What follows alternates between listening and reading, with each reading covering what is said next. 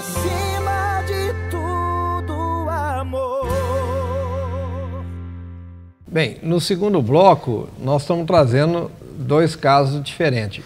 Continu nós vamos apresentar para vocês é, uma relação da como é importante a relação do tratamento do, do paciente com a família. Nesse bloco nós temos o Anderson Nunes de Lima, que é do Belém, do Pará. Olha a distância e da onde que ele está vindo. E ele vai contar a história dele aqui para nós. E nós temos o seu Edival é, Cataldo, que atualmente mora em Barretos, mas era de Osasco. E ele larga o serviço onde ele estava para ficar do lado da esposa durante o, tratamento.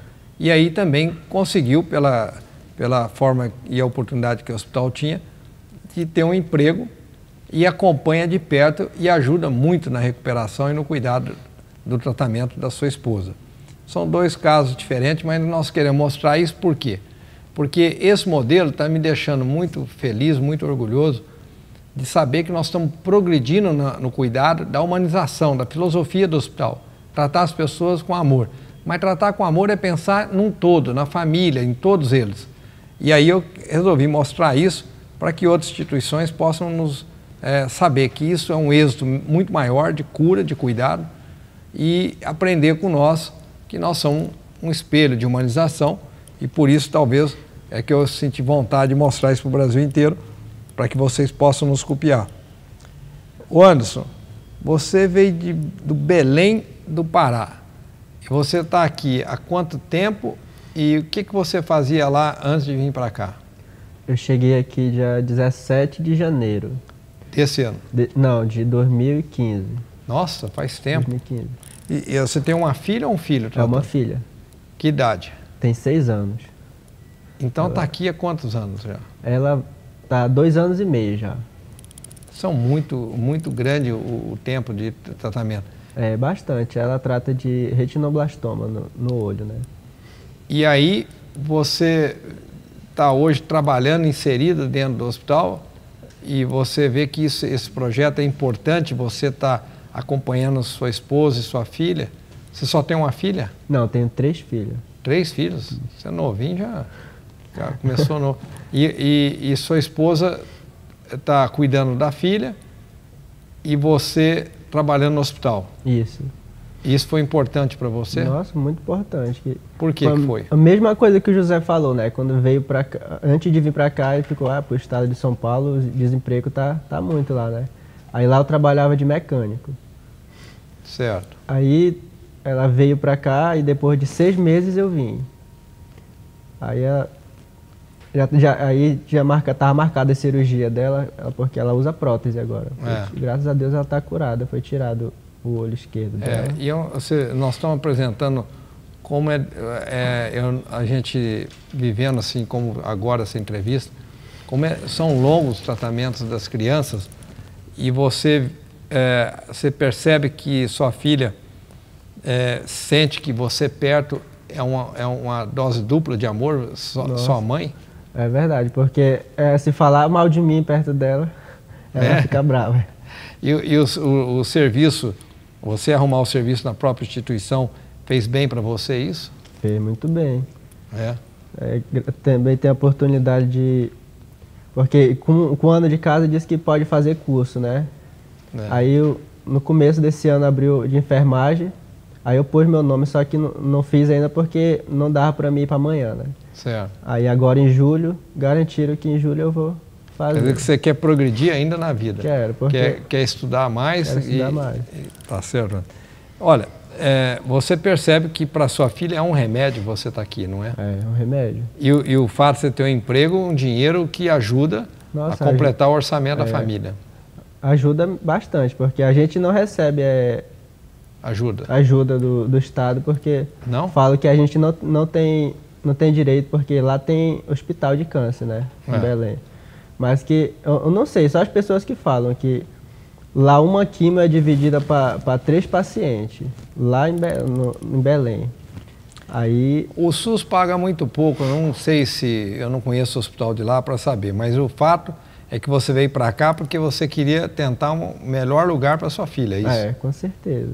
E aí você viu falar que o hospital era um hospital de, de alta complexidade com, com o serviço de pediatria. Aliás, eu só conhecia Barretos por, por ter é, a festa do peão, né? Ah. Aí quando descobriram que a minha filha estava com essa doença, aí foi uma, uma, uma moça da ótica que descobriu. Aí disse que podia ser catarata no olho dela, então podia ser um tumor, né? Tumor maligno. Aí foi encaminhada para cá. Ela disse o melhor hospital que tinha era para cá. Ela perguntou para a mãe dela se ela queria ir para Belém. Aí a mãe dela disse que não, porque já estava sabendo que a pessoa estava falando, né? A gente não tem, só falam. Mas a, a mãe e o pai quer levar o filho para o melhor lugar. O, é. a, o SUS dá essa oportunidade das pessoas escolherem aonde quer ser tratado. Então você foi muito feliz de estar aqui num hospital que tem um, um serviço de tratamento de pediatria que não existe nenhum é. melhor que ele. Pode ter igual, que é em São Paulo, um ou dois igual, mas não tem nada melhor que isso aqui. E aqui tem um protocolo que é o melhor do mundo, que é o do, dos Estados Unidos, do St. Jude's. Bem, nós estamos vendo que, que o Anderson está tá com uma história é, de família, de filhos, que, que é para nós, eu tenho uma convicção que o pai e a mãe juntos são remédios duplos, dose dupla de amor e de, de força para a criança se recuperar. Por isso que eu, esse projeto eu tenho muito orgulho dele porque no começo eu via a concepção da destruição da família, ficar muito tempo separado o marido uhum. da, da, da, esposa, e agora eu vejo o efeito de, de componente de dose dupla de amor do pai e da mãe pela criança, sendo uma alegria imensa para os filhos, né? Eu queria, é diferente a história desse bloco, porque o, o Edival, ele tem uma história que largou emprego, uh, ficou procurando um emprego em Barretos para ter oportunidade de ficar do lado da esposa. Uh, você viu que seria importante você ficar do lado o tempo todo da sua esposa e por isso você quis uh, uma oportunidade de trabalhar dentro do hospital, foi isso? Isso foi muito importante para mim, porque eu trabalhava em Rio Claro eu viajava, eu saía 4 horas da manhã de de Barretos, chegava às 8 em Rio Claro. Aí na sexta-feira eu saía de lá às 5 horas da tarde, chegava às 10 e eu já vinha direto dormir no hospital. E, e tinha um custo altíssimo isso, um desgaste, e eu percebia que ela estava se abatendo mais, era muito nervosa e eu conversando com o pessoal da assistência aqui, me falaram né, que, que tinha, teria uma chance de eu, de eu arrumar um emprego aqui. E, e eu, inclusive eu tive convites para ir para fora, mas quando eu cheguei aqui não tinha na minha área. Aí me arrumaram no reprocessamento, na parte da hotelaria, e eu, eu aceitei.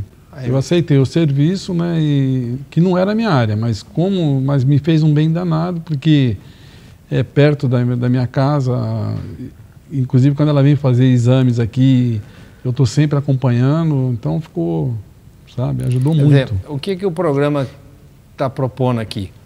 Que as pessoas é, conheçam a, bem a família do paciente, no conceito de família.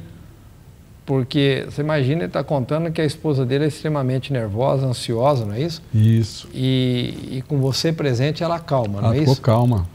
Quer dizer, é muito triste saber que esse país não investiu e não tem hospitais mais de alta complexidade distribuído mais pelo país todo. Então, nós estamos vendo exemplos das pessoas de Roraima, do Pará, do Brasil inteiro, do Acre, é, se dirigindo para cá. Isso é um pecado, porque a, a pessoa isoladamente ela, ela tem um, uma, uma depressão pela carência do amor do ente querido dela. E aí nós estamos vendo quanto que é importante o seu testemunho aqui. É, os dois testemunhos provam a importância da recuperação e do, da, da entrega da pessoa quando ela tem um ente querido dela do lado segurando a mão. Correto. Embora aqui seja o Hospital do Amor, embora todas as pessoas aqui fazem parte da família dos pacientes, mas nós estamos vendo, eu tô, esse programa é para demonstrar para o Brasil todo a importância de se pensar na família, da pessoa estar próxima durante o tratamento, a importância do valor desse amor que é muito mais do que o remédio. Então, por isso que nós estamos pegando, colhendo esses depoimentos e a história de cada um me impressiona de saber como é que ele sentiu essa vontade de ficar uh, do lado do ente querido, seja da esposa ou do filho. E eu queria, Anderson, que você me contasse, é, o serviço te ajuda você passar o tempo, ajuda, independente financeiramente, você acha que é importante você estar ocupado trabalhando e, e enquanto sua esposa está cuidando da sua filha? Ajuda sim, bastante, porque se, se não fosse a instituição, porque a gente paga aluguel. Aí a gente não recebe é, ajuda de, do Estado, né? Aí é... Então, mas eu, além da, da, da, importância financeira, você vê o valor de estar ocupado, com a cabeça ocupada no serviço, te ajuda a passar o tempo melhor? Ajuda. Ajuda? Com certeza, ajuda sim. Estando é. aqui, é, é bom.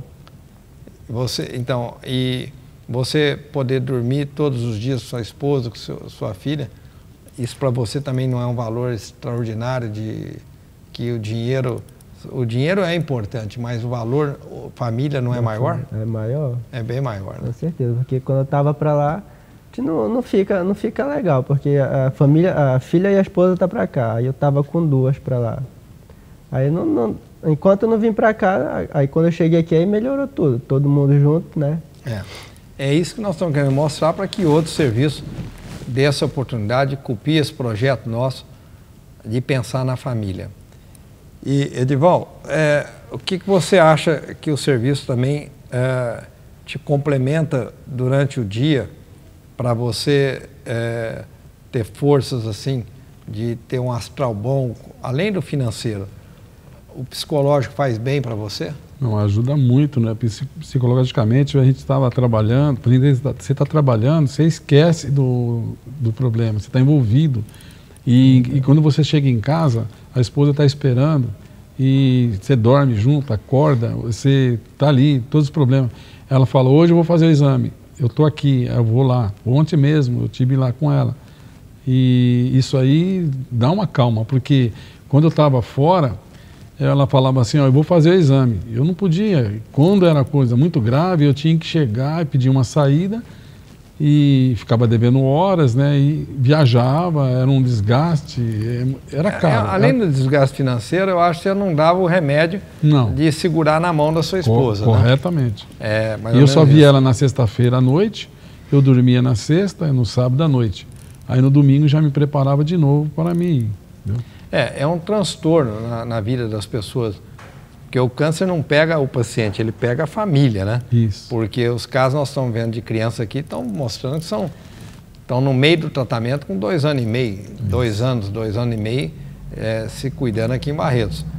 E esse projeto eu achei que ele ficou muito consistente, porque eu vejo constantemente os pais é, é, jamais eu busquei agradecimento de ninguém, jamais eu quero que isso, mas eu vi constantemente as pessoas me, me falando, olha, que bom que você criou essa oportunidade da gente se ocupar, ter o nosso poder, a gente alugar uma casinha, que daqui uns dias está vindo um projeto para os pais com a família, que, que é parceria com o Ronald McDonald's, que vai ter é, 30 leitos do pai, três filhos, o pai, a mãe, os três filhos, os quatro filhos, se ocupando eles em, em termos de lazer, de estudos, continuar os estudos, é, enquanto o irmãozinho está lá dentro do hospital se tratando. É o cuidado com a família. Esse é um projeto que eu demorei dois anos para convencer a, o Ronald McDonald's a aceitar essa ideia, assumir a responsabilidade de, de 33% da despesa serem pagas por nós. Estou arrumando um padrinho para esse projeto. O programa atinge o Brasil inteiro. Quem quiser saber como pode nos ajudar, é um lugar onde eu quebrei o, o protocolo que existia da, na rede Ronald McDonald's de tratar a mãe e o filho. Eu vi que ficava incompleto e por isso eu criei esse projeto ao ponto de convencer, demorou dois anos, até o parceiro maior, que é o Ronald McDonald, essa casa maravilhosa que vai cuidar de todos os seus filhos. Você tem três filhos, né? Três filhos. Os três filhos vão poder ficar na casa com vocês quando você vier a próxima vez, eh, no, no, no retorno. o tempo que for demorar qualquer parte do tratamento, vai receber uma condição ímpar, um lugar maravilhoso, um parque, vai estar num hotel cinco estrelas, cuidando, você mesmo fazendo a comida dos seus filhos, cada um vai ter o seu fogão, vai ser lindo o projeto. Então, a gente tem muito orgulho de mostrar que a gente tem parcerias agora que vai valorizar muito esse projeto. Por isso, eu queria agradecer vocês pelo exemplo de vocês estarem aqui juntos com a sua família, se dedicarem perder empregos e valores de, de receita maior, mas estar junto com a sua esposa num momento tão difícil, numa hora tão, é, numa hora tão importante na vida, que a vida é tão curta. Os dois estão dando um exemplo aqui de amor, de solidariedade. O exemplo de vocês é muito importante. É, vocês mostrarem que pode se deslocar e estar junto numa hora tão difícil do, do tratamento. Você com sua filha e você com sua esposa. Correto. O exemplo de vocês é maravilhoso e a gente quer compartilhar e vai mostrar vocês no, no programa, mostrar vocês você com seus três filhos e a esposa e você com, sua, com a sua esposa. Viu? Muito obrigado a vocês por terem vindo aqui dar o testemunho da importância desse projeto do Hospital do Amor. E eu queria agradecer, para aproveitar a palavra, eu queria agradecer em nome da minha família pelo trabalho do senhor, que sei que não é fácil, é, é amplo, porque antigamente aqui a cidade era conhecida só pela festa do peão. É. E hoje não, hoje o hospital leva uma boa parte. Né? Então eu queria agradecer. Não, mas o agradecimento aqui não pode fazer. Nós não. estamos aqui para nós mostrarmos que nós somos ligados pela mesma semente, a semente do amor. Muito obrigado a vocês por tudo que vocês estão fazendo pela sua própria família. Muito obrigado.